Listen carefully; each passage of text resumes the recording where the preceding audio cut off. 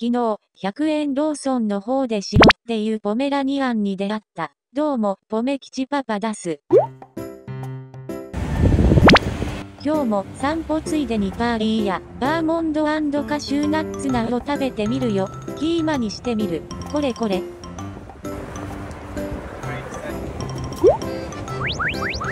え弁当一択出す。今では考えられない T シャツ姿。急に寒くなったよね。プライムナウってなんだろ？使ったことないな。こっちは、バーリーヤナウ。はい、出ました。美味しそう。ナッツとアーモンドがぎっしり。アーモンドは食べやすいように切ってくれてる。キーマは初めて。これすごい美味しいよ。リピート確定。今後は、これを基本にして、たまにかぶりナンを頼む出す。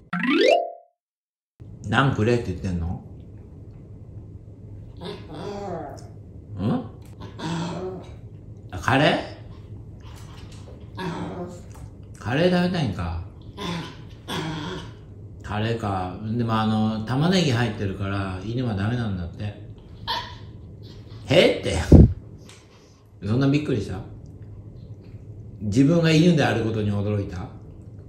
自分のこと人間だと思ってた？あそうなん？あんた犬だよ？へっていやもしかして飼い主の子供だと思ってた？ポメヒチパパって言うからパパの子供だと思ってた？今日のナンはアーモンドカシューナッツナン。いいなって。食べたい？食べたいね。